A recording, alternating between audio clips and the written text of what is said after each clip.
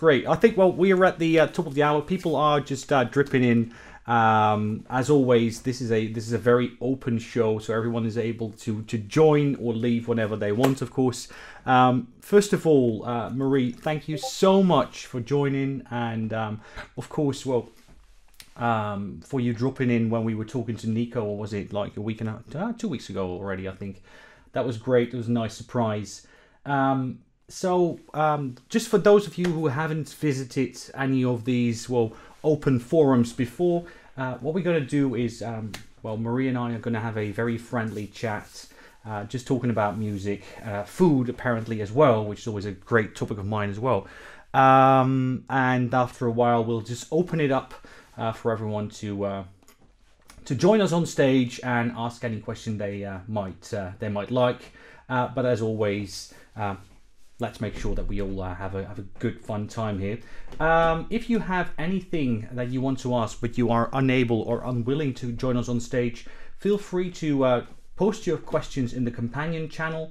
Um, you can also use that to uh, to share any links, or if you want to point at point out something, uh, just use that there as well. Um, so again, Marie, I've already said it a couple of times, but thank you so much for joining. So, how have you been today? How was you, how's been how's been your day? Oh, it's been good. It snowed here. Um, it's nice and pretty outside. Been playing music. Um, it's been good. It's been very good. Great, great. And um, the snow is not not too cold, or is it just okayish? It's freezing. Oh. It's definitely. perfect, perfect. So, um, what I'd like to um, start off with is a bit about where, where did you come from, from a, from a musical upbringing point of view. What were big influences when you were growing up? Uh, from from uh, did your parents listen to music a lot, or uh, how did you develop your own tastes and your own well style, so to say? Oh, you know, um, that's a really good question. So as a kid, uh, I wanted to play piano. So I guess I have more of like a classical kind of upbringing. Um, mm-hmm. But I mean, I, I definitely wouldn't say like I'm I'm not, I mean, I'm not really super proficient with the piano. I think that I wanted to play, I got this kind of like feeling that I wanted to play in fourth grade. So I asked my mom if I wanted piano lessons and she said yes. And so I started those. And I think I had heard music like Rhapsody in Blue and things like that. And I was interested in trying to play music. Um, like that. And being like in fourth grade, obviously you don't start out playing that, but uh, eventually, you know, I, I, got to the point where I was able to play some some of it, not the whole thing.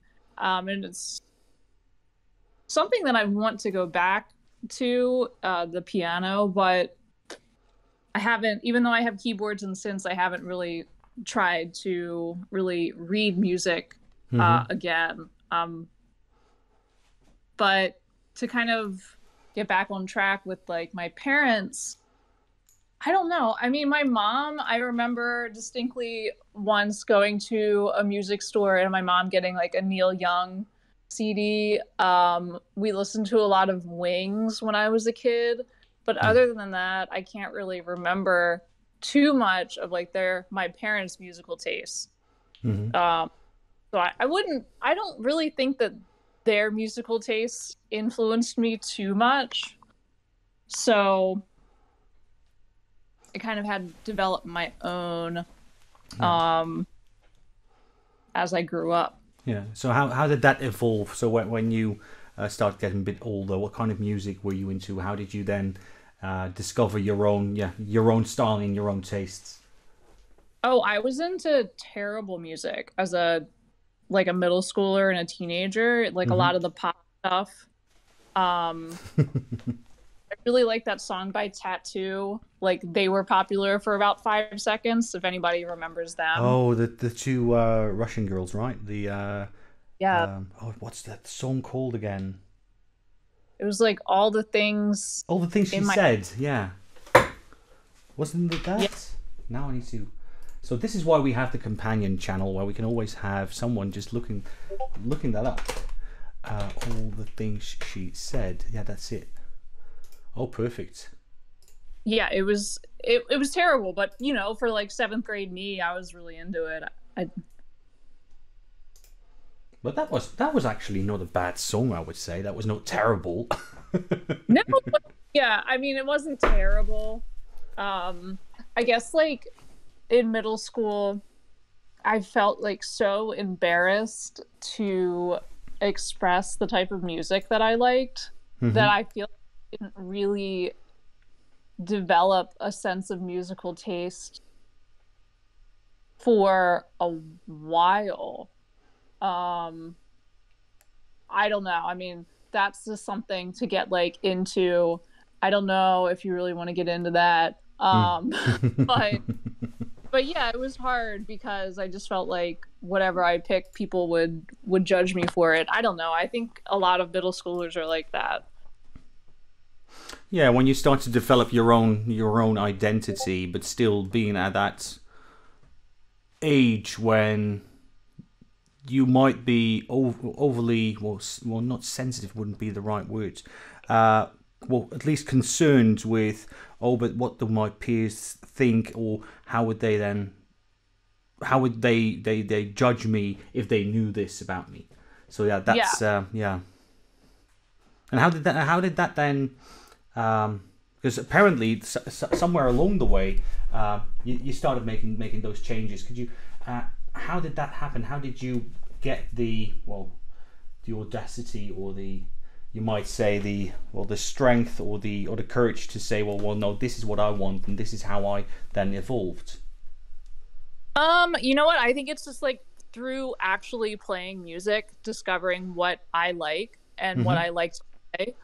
Um, and I think that when I got older, I had stopped playing the piano for a while, um, and then kind of discovered since my husband is, well, he was first very into guitars, and then um, we started record collecting and listening to music a lot of like just every different everything. I mean, it, there was no one genre that we didn't listen.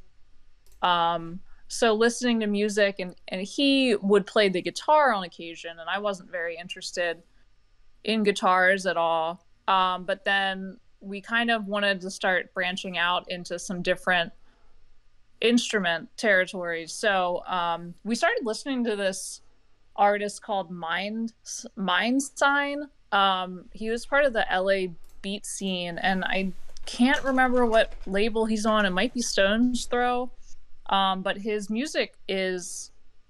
I thought that I wanted to make music like that. Um, it's not really like a lo-fi beat kind of thing, um, but it's I I don't know how you would describe it. It's really chill, um, and it really it, it inspired me a lot to want to actually start to make music because I felt like I could approach making music like that electronically.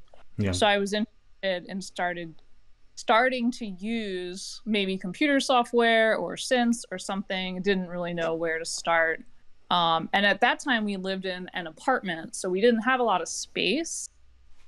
So my husband had kind of like a guitar corner um, and as he says it, he wanted to start making his guitars sound like synths. So Oh wow. we started, yeah, looking into synths and buying synths and playing synths. And so he got all these pedals for his guitar um, to process it so it would sound like a synth. But eventually, you know, he got to the point where he actually wanted to buy a synth. And I was really gung ho about it. I was, you know, I think a lot of times, like the girlfriend in the music store, she'll kind of just sit there and do nothing. When we would go to the music stores, and it would be like absolutely boring, so boring, going and looking at guitars. I don't, I don't know what it is, but guitars just don't excite me at all. Um, but the keyboards and the synths are like so super exciting. I'm I'm really into it probably because I played piano and Yeah. I can act have like working knowledge of how I could possibly make it work. Now, I knew nothing about how to make sounds on these machines, uh, but I knew how to play it. If I press a key, some sound will come out of it. Yeah. So I remember we went to a used music store and there was a micro Korg, and I spent like three hours in the store just playing this thing. And I think that they were getting tired of me being there.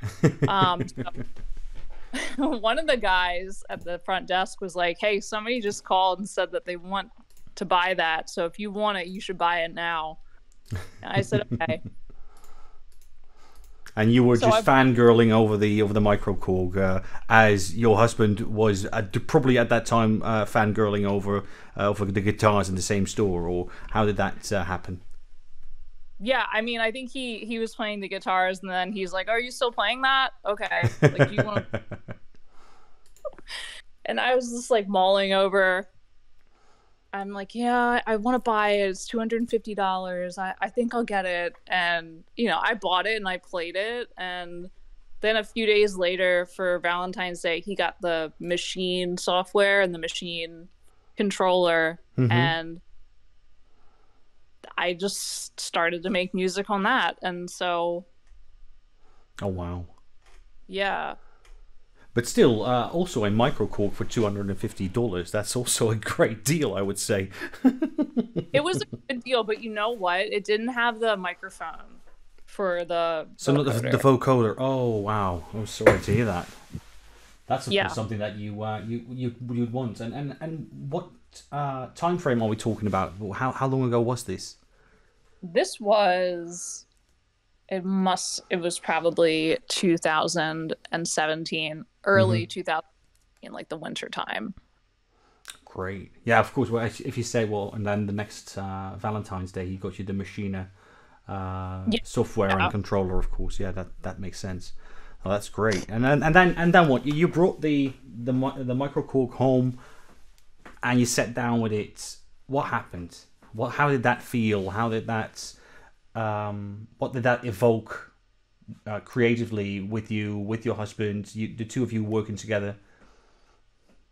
for me it was really trying to figure out how it worked and trying to use more than just the presets. And i was just i i i didn't i mean i didn't know how it worked. I i turned knobs. Um i pressed buttons. Um i really wanted to i don't think that it has a sequencer on it but i was really really trying to make a sequence or figure out if you could play a sequence on it. And I'm closing my eyes right now trying to remember if you can, but I I don't actually think it has a sequencer on it, but I knew that I wanted that. I knew that I wanted to record a sequence somehow and play it back. Um, and then play something else on top. So it was definitely getting my feet wet Mhm. with electronic music, but it wasn't deep enough. Mhm. So That was your entry, your entry drug, so to say. That was your your, your gateway into synthesis and synthesizers in general. Yes. Yeah. Definitely. But I guess like a lot of people when they have one synth, they don't just want one synth. they're going to have a million synths. Yeah, that's when Uh, the uh, that's when the, uh, the the gas starts, right? The the gear acquisition syndrome. Absolutely. I mean, feeling like well, this isn't enough, so I have to move on to something else. Mhm. And then we got um sub 37 and a Prophet 8 and not I don't know, like I feel silly saying this, but just not having a grasp of synthesis at all when you have these things and just kind of struggling to figure it out or not really struggling but exploring and experimenting with it Mm-hmm. and then ending up selling those things and like wishing that you had them back when you know how to use them because you would get so much more out of them um or I would get so much more out of them now than I than I did then just because I know Yeah. how to program use them so So when when did that actual um, realization or or the understanding or that that that that um, awakening of the the actual insight into synthesis? When when did that happen, and how was that triggered? Like how I, mm, I don't know. I don't know if there was like a eureka moment for myself. It was like like gradually evolving and understanding more and more along the way. And and do, do you know which of the the uh, the synthesizers or which modules? I'm not sure if we're already in, into modular territory right now. Uh, which was the the most educational, you might say? Oh, which of? Oh, that's a really good question. I'm like trying to remember back because at first I thought that modular since this I can't I can't say the word right for some reason, but at first I thought that it was extremely overpriced and it looked extremely complicated and I just couldn't imagine how anybody could have fun playing that instrument. Um Well, you were right about one thing, it's very expensive. really expensive. Oh, what module? Yeah. you know, I I started with I feel like something that was kind of overly complicated was having um not the all black make noise shared system, but having the all the modules in the shared system and kind of starting with that and that was like my first full system um Wow. And then that's that's a that's a system to start with. Absolutely, yeah. It's it's really complicated. Yeah. I, I would I would not suggest anybody to start with something like that. Um be, just because the you know what? I don't know if I should say that, but the make noise language mm-hmm. it's so different I guess from everything else yeah. out there. It does make it kind of hard to transition onto other modules but having one singular system does make it a little easier because everything is supposed to go with each other. I think that the hardest thing about the modular systems is finding the modules that you want to use that fit your sound but you don't even know what your sound is yet yeah, yeah, yeah. And how? So, and if, yeah. And if it, if you just go back just slightly before, so when you first said, okay, well, you always had this understanding of the modular world as being extremely expensive, extremely complicated, and at that point in time, not really fun. So how how how did that opinion about or that well uh, that that prejudice towards modular, I might even say. How did that then uh, change over time, and, and how long did that take you to get to that point where you said, okay, well, I, I do want to take the plunge and, and, and, and buy the well the, the, the shared system you put together yourself? Well, I my husband wanted to get the modular stuff, so mm-hmm. he sold uh, Gary Holt custom shop guitar to start it off um, and get some some modular stuff. Yeah. So it wasn't even really my choice. it was bestowed upon you. yeah, yeah, and just kind of working through it and figuring it out. It's almost like a puzzle. So mm-hmm. it kept for sure, and there's just endless possibilities to connecting all those different sounds together. So yeah, I mean, I I didn't I was I was like, you know, okay, that's cool. If you get it, I, you know, I would, I would use it. Mm-hmm.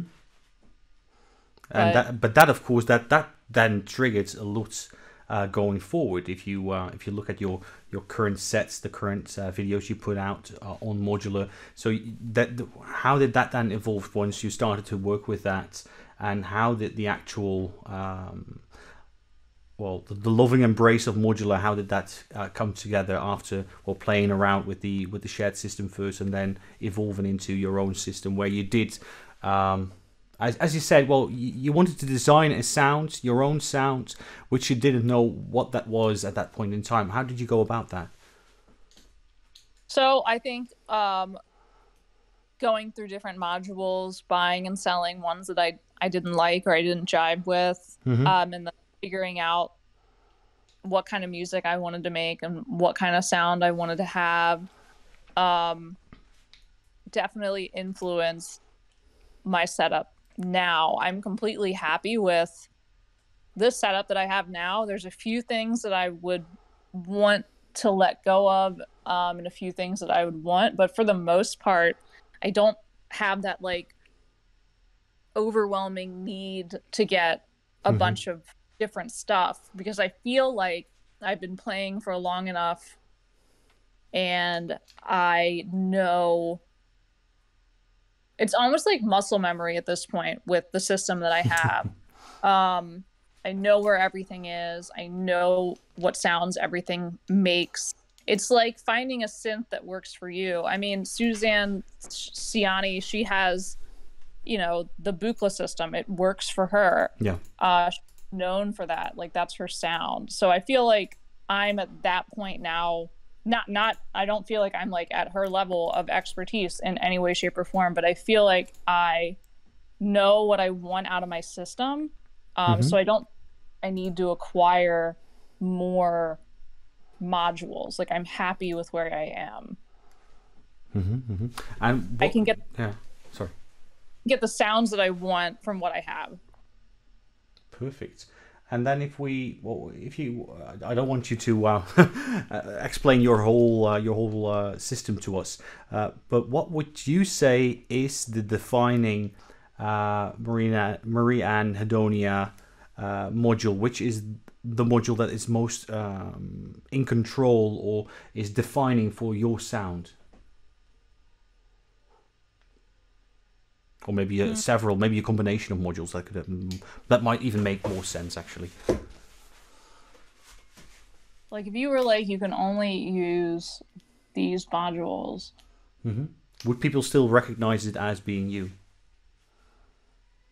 The sound, I think I mean the kick drum that I always use, I use um I combine it with a feedback module.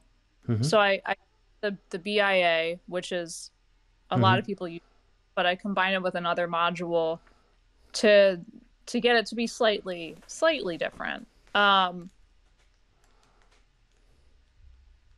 you know, the Marie's LFO, the where I Oh, can yeah. draw for sure. the the endorphins ground control is a sequencer um, that I love because it has a keyboard. Yeah. Um, so for anybody like using a KeyStep, it's it's basically a KeyStep that can go in your case. Um, sound wise, oscillator wise, oh, Yeah. that's so hard. Um, you know, I I love rings. I think everybody loves rings. Um, the performer module, Mm-hmm.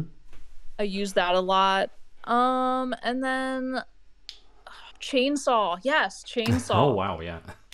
Chainsaw and Sync Busina. I pair those together with a Doepfer filter. Um, I don't remember the exact name because it's just a bunch of numbers, but Yeah. it's um kind of like a Oberheim filter. So chainsaw sync busina and that Oberheimish Doepfer filter are a combo that I use all the time.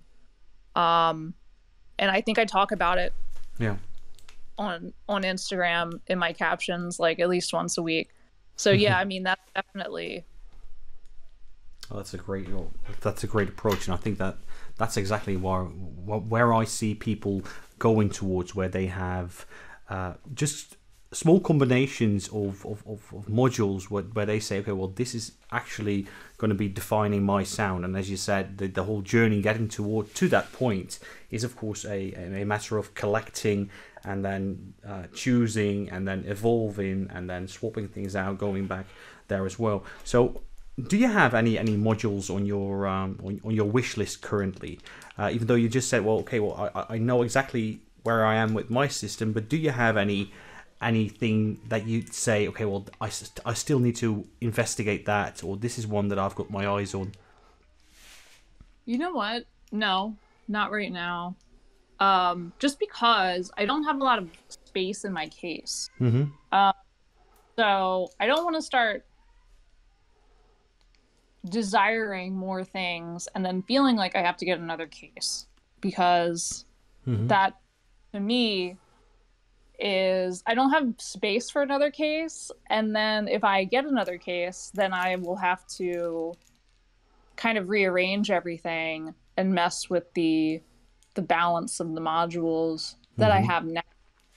Um I think if in a perfect world I wish that there were some more um, EQ modules. I have the scalpel module from WMD that I use for EQing. Um, there's the endorphins ground control module that I use occasionally for EQing as well. Mm-hmm. Maybe more EQing compression modules so I can do more of that in the rack.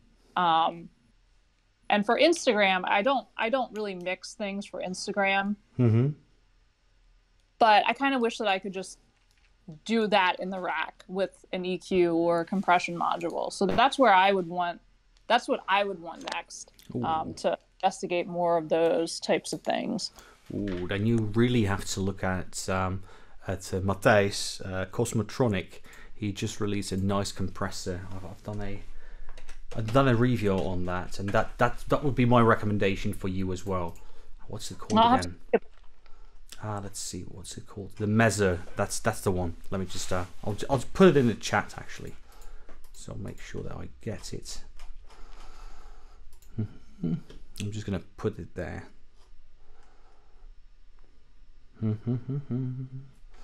Well, here it is. The Mezzer. That's a great one. There you go. No, well, that, that makes so much sense, of course, when you want to say, well, um, if you do want to keep limiting yourself by your case size, then you get, uh, you need to be more creative in the choices that you make, where you need to limit yourself on, okay, well, how do we, uh, how, how would you actually make sure that you approach that with that less is more approach, where you want to minimize the uh, not just the, the the number of modules, but making sure that you can still make sure that you make your your own sounds um, in Yeah. the limitation that you imposed upon yourself, of course. Exactly, exactly. And I know that if I expanded, hmm my sound would probably grow and change, and that would be that would be great. But I definitely think that there's a lot that I still need to explore with what I currently have and get creative with that. And in, in which directions do you think that you can still um, evolve in that regard with, with your current system? Is there any specific uh, soundscaping that you're looking into, or specific genre uh, variations, or in, in what regard do you want to oh, keep exploring your system? You know, I've always wanted to do things that are more jazzy. I wouldn't say that I I could ever play jazz as a actual um, on an actual instrument, but I do like the sound of it. Um, Mm-hmm. so I I want to kind of explore creating sounds like that on the modular system that I have. Um, more soundtrack sounds as well, so soundscapes. Very interested in creating things like that. Um, just giving things space and having patience to kind of let things play out um, instead of just wanting to stack things on top of each other. Mm-hmm, mm-hmm. But that's a great that's a great plan for 2022 then, of course. Yeah, yeah, just investigating those things. And I mean, I think that what I have, I can definitely achieve those sounds with. It's just sitting down and really creating them and kind of figuring out the best workflow for things like that. Absolutely, absolutely. And then, of course, if you do get into more um, more variations from a genre perspective or a um, or an application specific approach, where you said, okay, well, if you want to do those soundscapes more like like soundtracking or uh, cinematic uh, music and sound design, uh, that will bring you into a completely different um, different part of what you can achieve with modular. Um, have you already worked on, on those kind of uh, projects where you uh, are, are, doing things for, for videos or for uh, uh, or for movies? So the one thing that I've done, nothing officially. Yeah. Okay.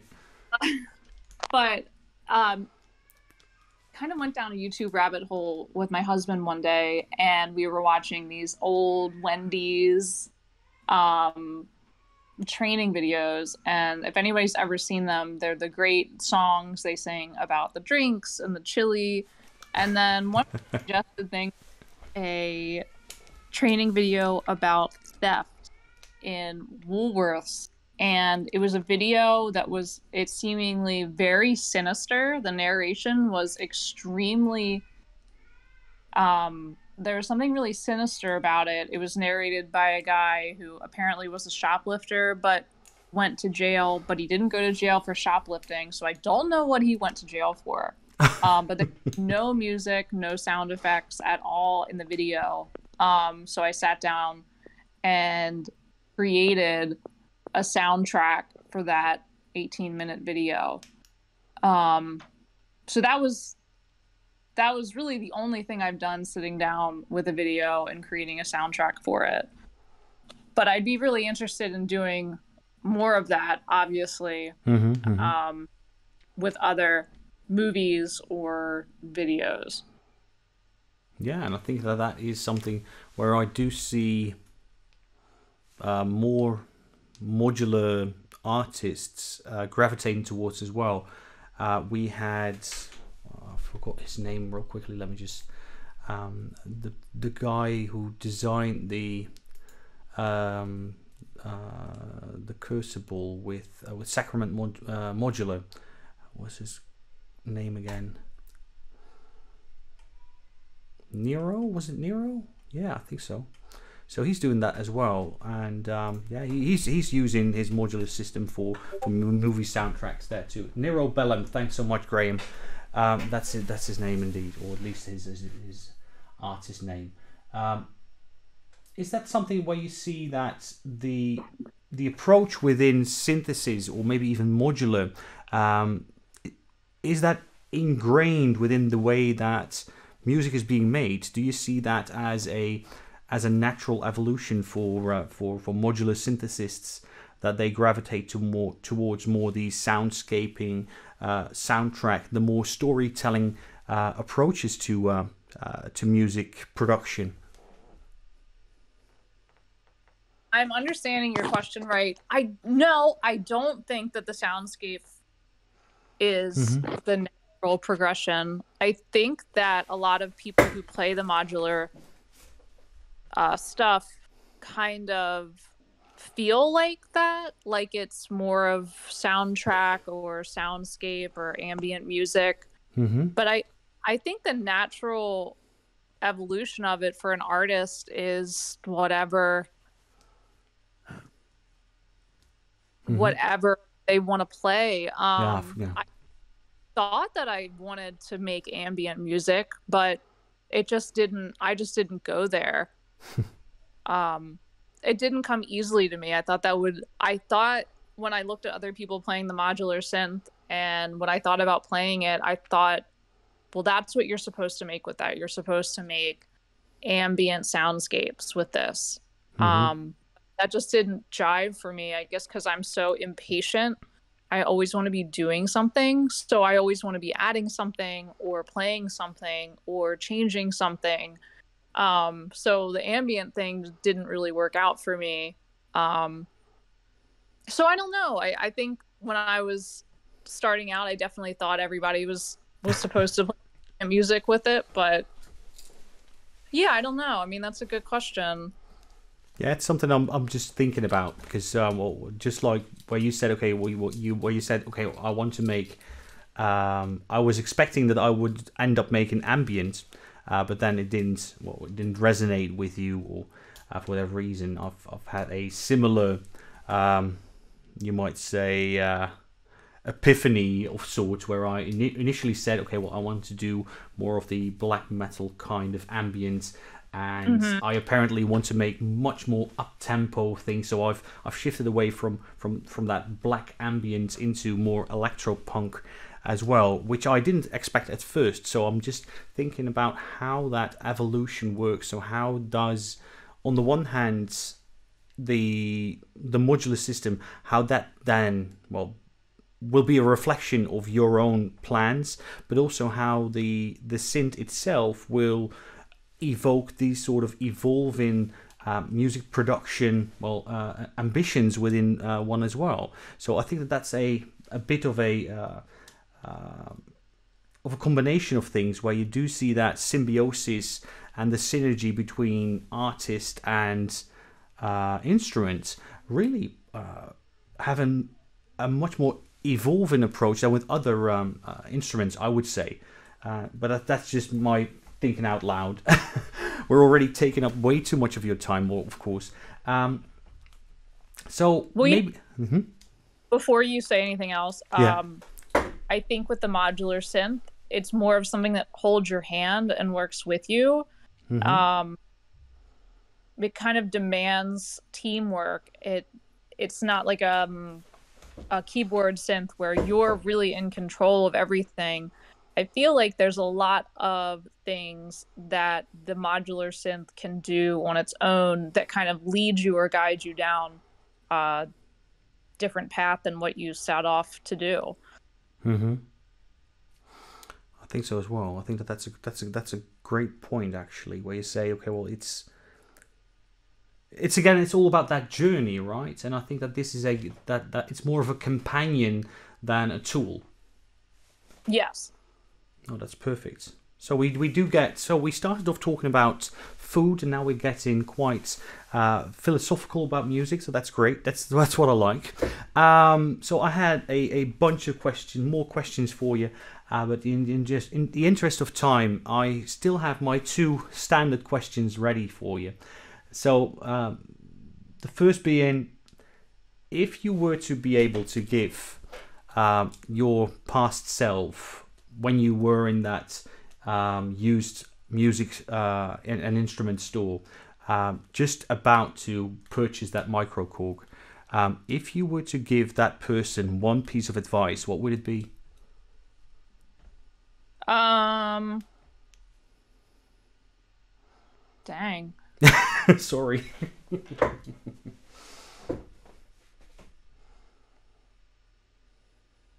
I would say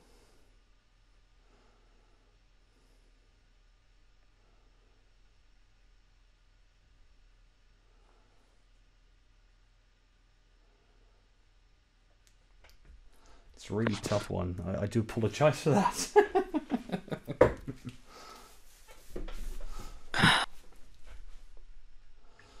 any of the, the things that you've learned about synthesis or synthesizers. Yeah.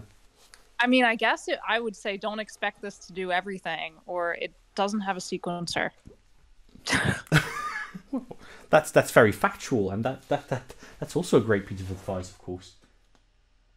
Yeah, oh, perfect. I, I don't know. I guess I'm one of those people that's like, if you mess with the past, then the whole future will change.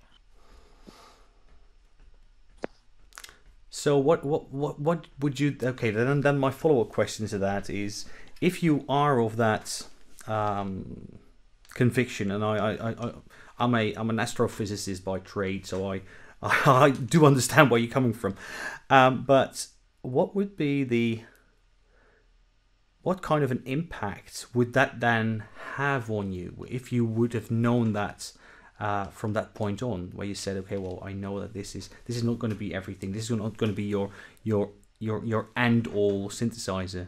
How how would that have influenced you, especially during those first weeks or months? Oh, see, I might not have gotten it because I got. It took me so long. Yeah. I'm happy. I'm happy. I was. I went into it completely like naive. Mm-hmm. Because if I knew too much, I think I would have hesitated, and hesitation is never good. Yeah. for new things. Absolutely, yeah, yeah. And you need to just dive right in, uh, two feet forward, and just uh, see you know, how far the rabbit hole goes. Right. Yeah. Hey, maybe my future self was the person that called on the phone and said, uh, "Somebody else is going to come pick this up, so you better buy it." Ooh, well, that's a that's a good one. Would you are, are you that devious that you would be able to think of how would I be capable of um, ensuring myself acting through on this so many years uh, before? Are you that devious that you could would have thought about that that approach? I don't know. Maybe my future self will have to at some Mm. point. Interesting, interesting. So again, we have a philosophical conundrum here. So how do we how do we solve that? How we would be able to uh, to determine that? That's a good one.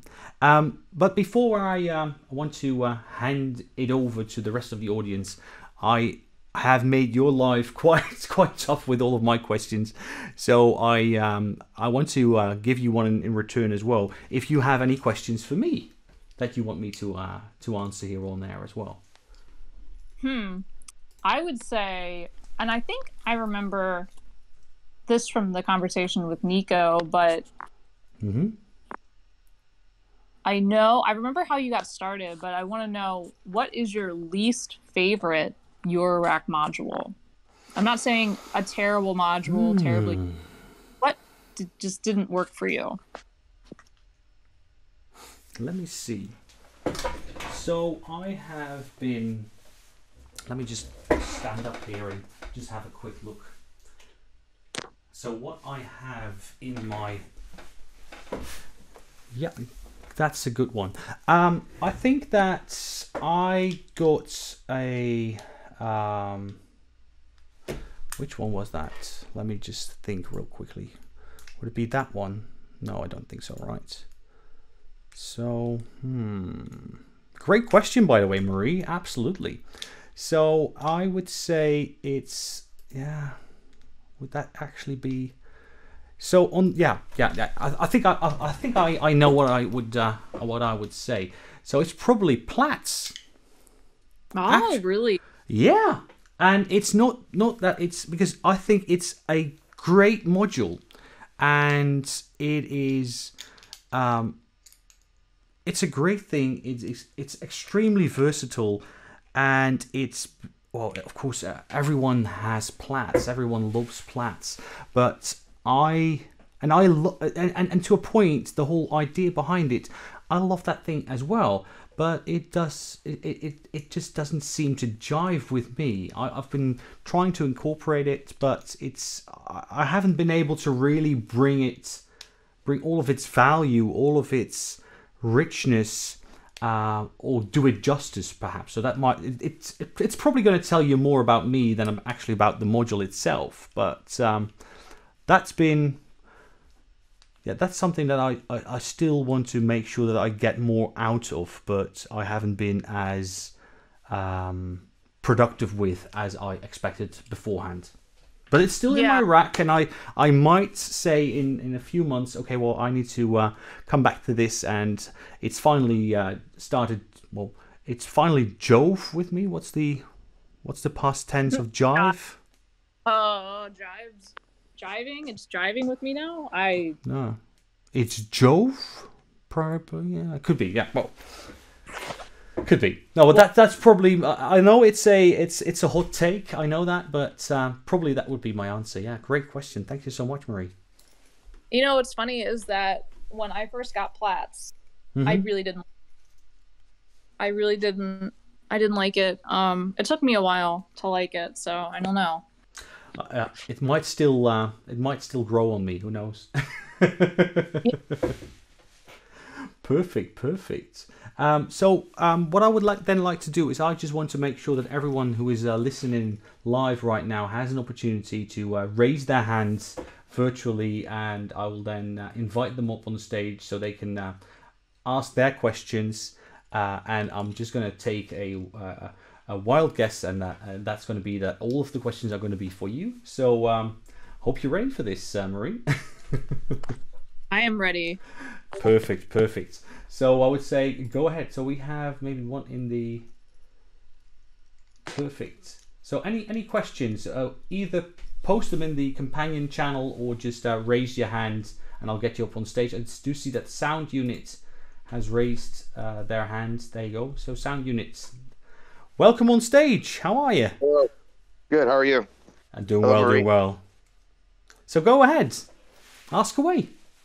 Um, well, I was wondering how, Marie, how are you uh, tracking your out? Like your at least the last hour, are you doing multi-tracking? Is it everything just kind of uh, like st- the stereo? So the last album that I did was some of the tracks were multi-tracked, and I okay. used the 4MS mixer. Um, but obviously, with you, the track stuff, I like to play things straight through. So stopping and starting um, and multi-tracking in that fashion, like grid recording, just doesn't work for me. So I just recently I got the performance mixer from WMD, and then the D subs um, so I've been using that. I've got the Apollo X16. So when I go to create my next album or mix songs for that, I'll be able to have multi tracks of all of the tracks that I've created, which makes things a million times easier yeah. because you can actually mix things correctly. Yeah, that's why I was wondering because it sounded. I mean, I was like, because I was listening to it the other day again. I was just like, this sounds really tight, but it still sounds really jammy. Mm-hmm. So I mm-hmm. couldn't tell if it, it, it was a a good happy medium of the two, like you were saying that it was. So, but sometimes it just sounded like some really just awesome one-off jams. So that's why I was like, I just you know I had to ask like how you were doing your thing. So yeah, I yeah, that makes sense. um, what are the D subs that you just said that you had? The thing you mentioned before the Apollo. Um, so the D subs are actually WMD is great, and I feel bad because I don't have any of their like sound making modules. I just have their utility modules. So uh, the performance mixer, um, I'm sure that you're familiar with that, but they have something where you can get an extra module that connects to the back of the performance mixer. Mm-hmm. Um, you can have 16 tracks to record um, with the D sub connections. And I mean, you don't have to have D sub to D sub. Okay, that's pretty cool. I didn't know it, it had like an expander port for that. That's pretty mm-hmm. nice. Okay. Yeah, so that's, they wow. and they've got the module, which is the mixer, and mm-hmm. they D sub, and then they actually have another expander that provides two more stereo tracks. So, you know, they just started and i'm kind of mad about this but they just re-released their like large performance mixer and it has the d subs and you know the two extra performance uh stereo tracks so yeah it's already kind of built in you're saying is it yeah it's all one okay. thing gotcha gotcha all right well yeah that would that's my question so you can hand it off to someone else so i don't hog up time no but no worries no worries great question there uh sound unit so I do see right, that uh, Robbie also raised. Thanks, uh, Marie. Thank you. I'm just gonna invite Robbie on stage too. So you will need to uh, accept the invite, uh, Robbie, and you can then uh, join the stage. There you go. How are you, Robbie? Hi. Thank you for inviting me up. Uh, it's great. It's great to be here. I have a question for Marie. Um, I, have listened to some of your music, and um, there's uh, some of it has some of the some of the tracks have a kind of an aggressive kind of edge to some of the tones of some of the instruments, and it all sounds really good in the context of the entire patch. But any one of those sounds could be could be kind of violently aggressively vulgar on its own. Uh, and I'm curious how you go about making those sounds um, with when it, when it's not a complete patch and you don't have a, a pitch sequence going to it and it's not in the context of the the rest of the patch how, do you go about deciding what sounds what sounds uh, are are good and what sounds aren't oh man um I don't know. I don't think I have like a set criteria for that. I think that I start off with something non-offensive. Um which helps. Um, So start off with something non-offensive, and then add in more aggressive sounds. And I, I, I don't know. I mean, that's a really good question. If I was doing it in the moment, I would be able to tell you, but I don't know. I think if it hurts my ears, I'll get rid of it. Mm-hmm. Um, but if you listen to the those sounds, you'd probably think they hurt my ears like all the time. I really don't know. That's a good question, and I think that's something I'll have to think about when I play again. Um, it's been cold and snowy here, so I've been playing more toned down, calmer things. Um, but the next time I play something aggressive, I'll definitely think about that because it's a really good question. Like, how do I get rid of sounds that I don't like? Yeah, yeah, it's something I, I struggle with when I try to make more techno-oriented kind of industrial kind of sounding stuff. Uh, and I think that's why I, I tend to stay away from it. So uh, I've heard you have success with it um, sometimes. So I, I was curious. But uh, thank you for taking my question. Yeah, you're welcome. And I think like sometimes, sometimes I don't like what I'm playing, but I I just kind of go with it because I'm like, well, maybe maybe this isn't for me, but maybe it'll be for somebody else. I don't know. you don't have to love everything you do. I like that. Thank you. Yeah, thank you. Great question, Robbie. Thanks so much. Um, any any follow up questions, uh, either live or in the companion channel? Don't hesitate. Um, I don't think that Marie will bite, so can't can't uh, guarantee anything, of course. But yeah. Yeah, you guys ask hard questions. Okay, so oh, sound unit has another one. There we go. Welcome back. yeah, I've, I've wanted to ask this one, and then I forgot, and then that guy's last thing kind of. Oh, I think we lost you there. Let's wait a few seconds and see uh, if they come back.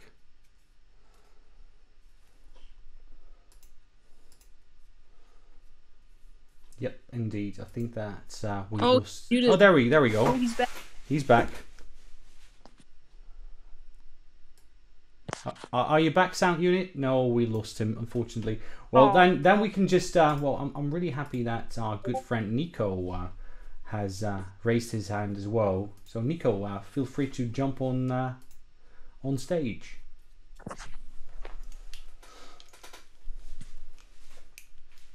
You do need to uh, press accept on the on the invite, by the way.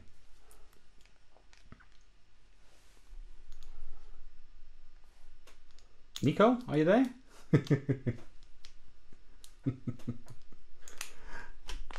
Interesting. or maybe I do see that. Um, oh, now yeah, there we go. Hey, Nico, good to have you. Hey, can you hear me? Yeah, now we can hear you. How are you? Oh, okay, nice. Hi, everyone. Uh, nice to be here. It's very cool to to hear your whole history, Mary. um, I was wondering what would be a killer feature in a VCO in your mind. Ooh. Okay, so Ah. for me, I have the Atlantis, and it's like a super duper VCO because it's got a filter, an envelope, a modulation. Oh, everything is uh, already embedded inside.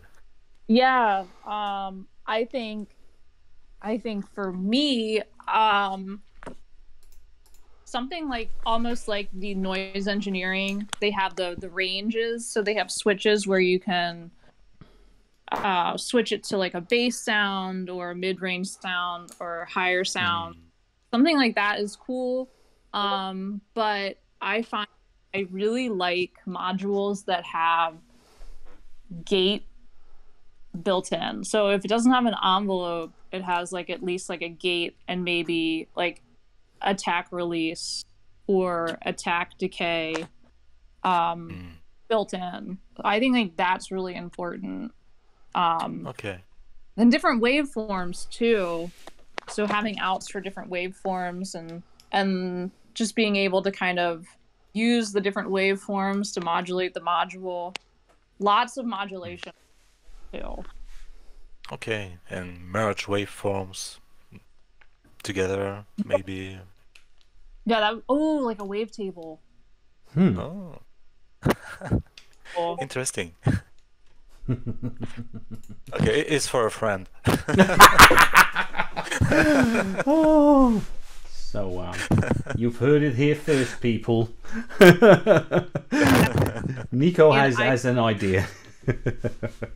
Yeah, actually, this, this was the only question I had. Yeah, no It was, uh, worries. It's a great question. Thank you very much for for this. Great. Uh, then, of course, well, I, I do see that sound unit is back. Uh, sound unit, do you still want to uh, ask your follow up question before you uh, dropped off? Yeah, perfect. I'm just gonna get you up on stage again. See if the technology Right. gods are a bit. Uh, Yeah. more, uh, yeah, there you go. okay, I had to find another set of uh, earbuds. Those other ones are shit. So, Hmm. um, where was I? Oh, the scalpel. Um, how do you like that WMD scalpel, as far as uh, using it as uh, equalization? I love it. Yeah, Uh, because they demoed it for me at Knobcon while I was there, and I mean, I, I was really impressed with it. But you're one of the few people I know that actually has one. So, um, yeah. So, is, do you end up using it a lot for your tone shaping? If I have a bass and the kick drum, if they're getting kind of muddy, um, I'll use the that, or if I use the toms and kick drum together, then I'll use that. Um, yeah, no, I mean, I really like it. Yeah, and you get gnarly tones out of it too if you want to. that's kind of what it seemed like in like the the way you could store the presets, where you could almost kind of se- uh, sequence those weird like EQ spikes or whatever in a way, right? Does it Yeah. have like a presets?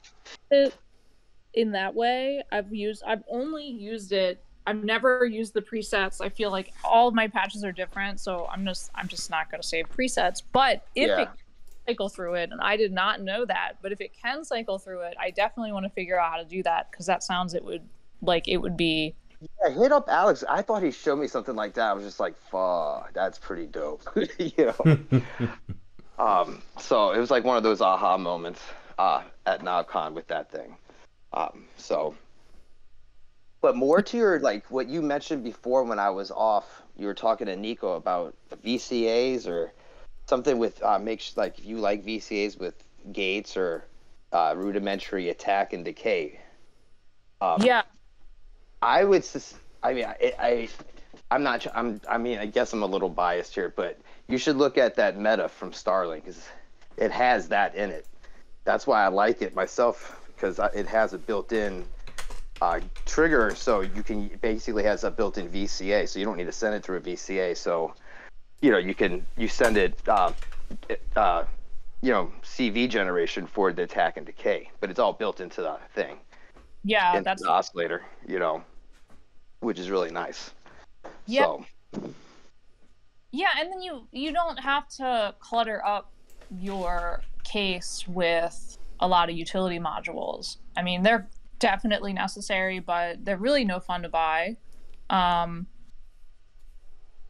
like VCAs are are kind of you know they're necessary but not really fun. Um, Hmm. But yeah, the the I forgot what I was going to say. Um, but yes, having having some having some things that are built in, like an envelope. Oh, I know what I was going to say. The Plaits. I Oh, I started to like Plaits after I discovered that the level you just put an envelope in there and it just you know evolves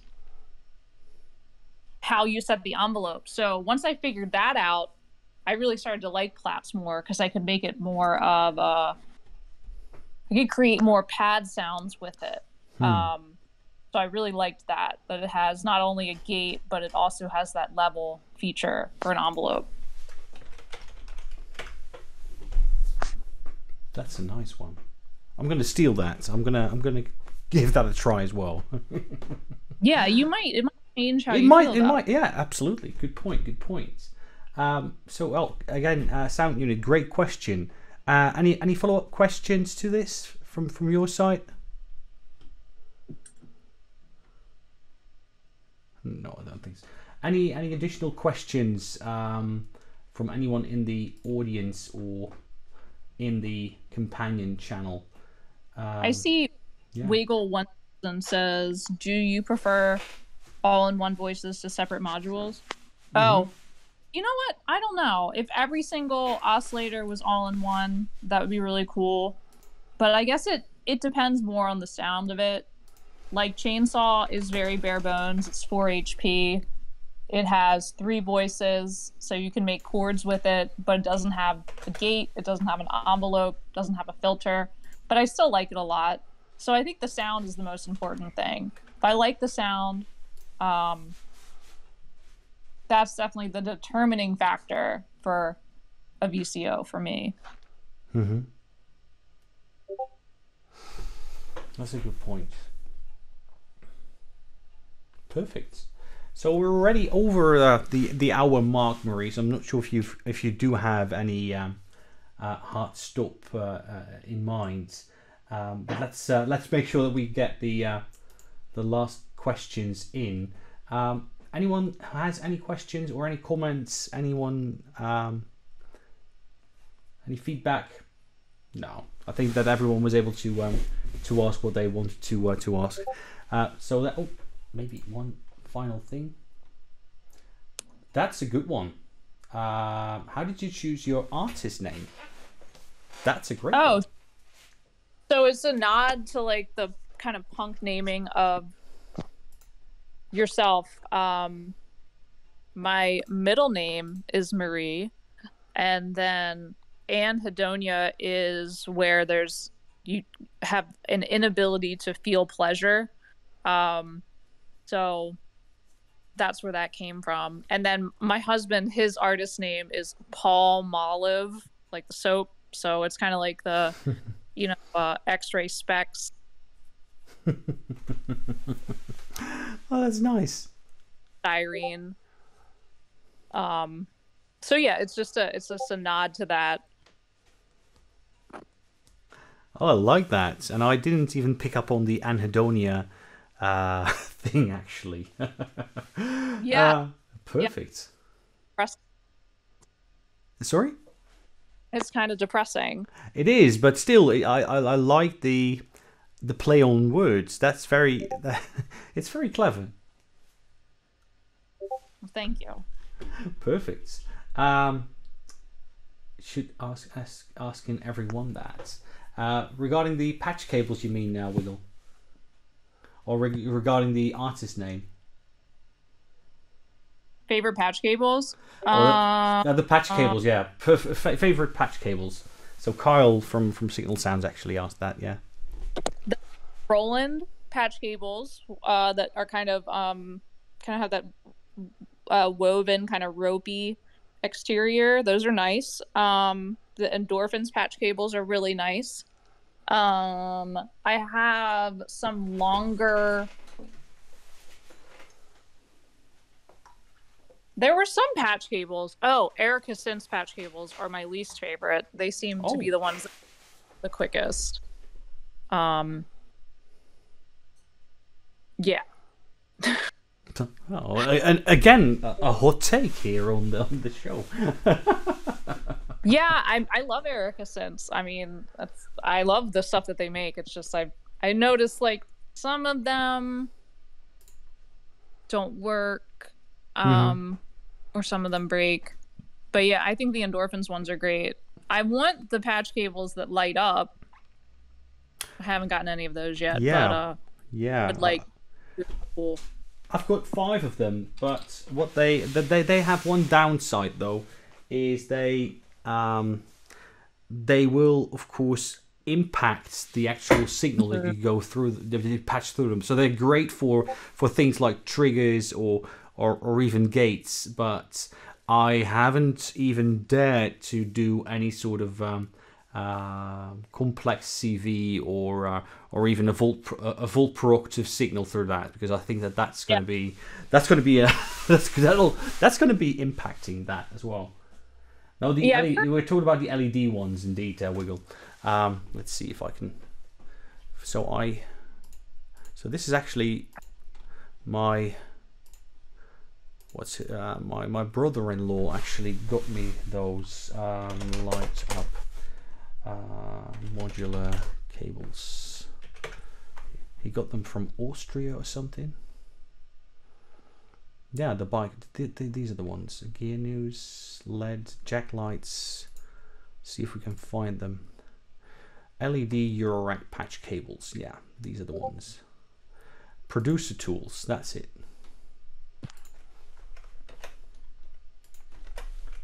yeah, I think that those those are really cool, but I know that they can definitely dampen the signal.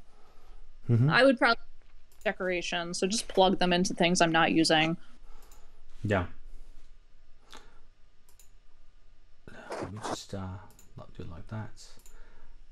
And as you said, uh, it's um, but it's it's it's a great visual gimmick, and I I've, I've used them to make sure that I understand how the actual trigger signals are are flowing, and that was a nice one.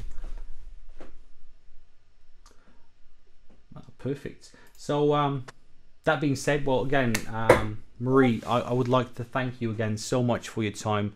I uh, I had a blast. I hope uh, you enjoyed yourself as well. Um, yeah, as always, I'd like to thank you. And if you want to have any sort of closing statement or anything, uh, any closing comments, uh, please go ahead. Oh, thank you for coming and listening for this entire hour and asking questions and just being part of the modular community. perfect, perfect. Thanks for that, Marie. So, um, that being said, I do want to thank everyone again for uh, either joining us live uh, on Discord or if you're listening to the recording uh, of this show afterwards. Thank you so much for your time. This has been a presentation of the Modular Clubhouse, uh, which is a combination of the community on Discord. Uh, plus, of course, the uh, YouTube channel uh, where we go into all things that have to do with with synthesizers and modular and even more specific Eurorack and um, yeah, feel free to uh, to reach out to me directly if you've got any questions, any comments, any sort of feedback. Um, that being said, I do want to take this opportunity to uh, wish everyone uh, the best for 2022. Let's make it a very safe and healthy year for all around.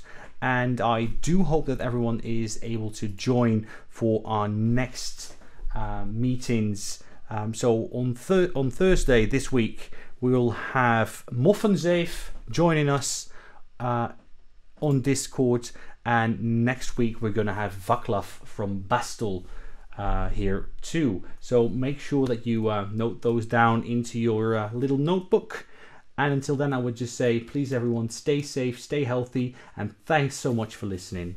Take care. Cheers. Bye-bye. Bye.